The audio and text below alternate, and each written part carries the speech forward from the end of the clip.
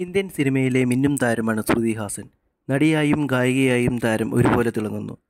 തെന്നിന്ത്യൻ സൂപ്പർ താരം കമൽഹാസന്റെ മകൾ കൂടിയാണ് ശ്രുതി ഹാസൻ. താരപുത്രിയാണെങ്കിലും പിതാവിന്റെ സ്വാധീനം ഒന്നും ഉപയോഗിക്കാതെയാണ് ശ്രുതി സിനിമാ ലോകത്ത് തന്റേതായ സ്ഥാനം ഉണ്ടാക്കിയെടുത്തത്. കരിയറിൽ വീഴ്ചകൾ സംഭവിക്കുമ്പോഴും താരം പിതാവിന്റെ സഹായം തേടാറില്ല. ശ്രുതി ഹാസന്റെ പുതിയ സിനിമകൾക്കായി കാത്തിരിക്കുകയാണ് ആരാധകർ. തമിഴ് സിനിമകളിൽ ശ്രുതിയെ കണ്ടിട്ട് കുറേ കാലമായി. ഇരുപത്തി ഒന്നാം വയസ്സ് മുതൽ സ്വന്തം കാര്യങ്ങൾ സ്വയം നോക്കി ചെയ്യാൻ ഇഷ്ടപ്പെടുന്ന താരത്തിന്റെ രസകരമായ ഒരു അനുഭവമാണ് ഇപ്പോൾ ചർച്ചയാവുന്നത്. ശ്രുതി ഹാസനും നടൻ വിജയ് സേതുപതിയും ഒന്നിച്ചഭിനയിച്ച സിനിമയായിരുന്നു ലാംബം രണ്ടായിരത്തി ഇരുപത്തൊന്നിൽ റിലീസ് ചെയ്ത ചിത്രം പരാജയപ്പെട്ടിരുന്നു. ചിത്രത്തിന്റെ ഷൂട്ടിങ്ങിനിടെ നടന്ന കാര്യങ്ങളാണ് ഇപ്പോൾ ചർച്ചയാവുന്നത്.